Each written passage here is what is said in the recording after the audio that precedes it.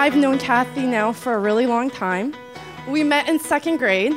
Kathy walked up to me and said, Hey, are you Polish? you know, we really should be friends.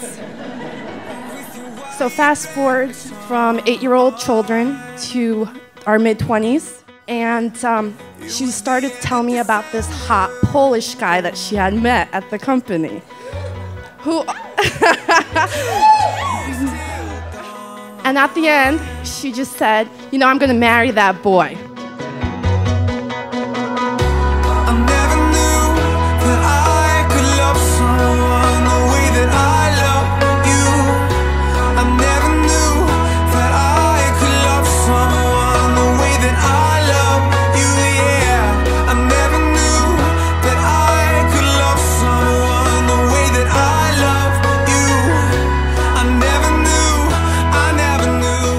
So I first wanted to officially welcome you, Kathy, into the family.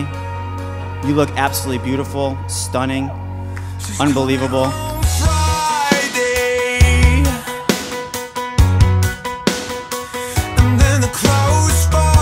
I'm so excited for you to, to join the family. And I can tell you just have an amazing heart. You're, you're such a great person. You guys make each other so happy. You can see the happiness that you have for each other. And I'm just so happy that you chose Rob to be your husband.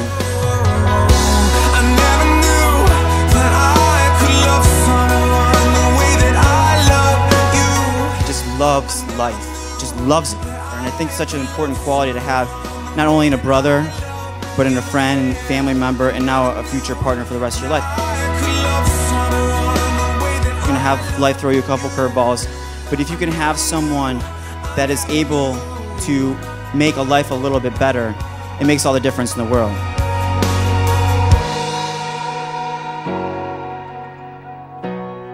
I, Robert, take you, Katherine, to be my wife.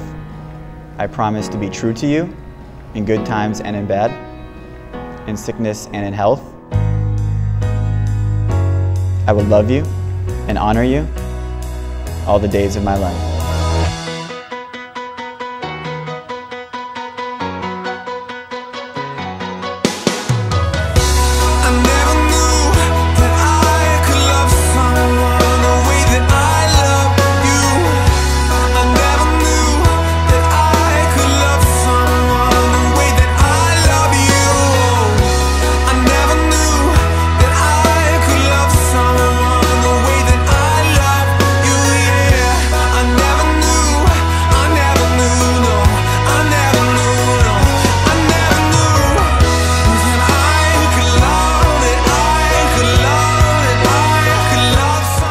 Katherine, Take you, Robert, take you, Robert, to be my husband. to be my husband. I promise to be true to you I promise to be true to you in good times and in bad, in good times and in bad, in sickness and in health. in sickness and in health. I will love you I will love you and honor you and honor you all the days of my life. all the days of my life.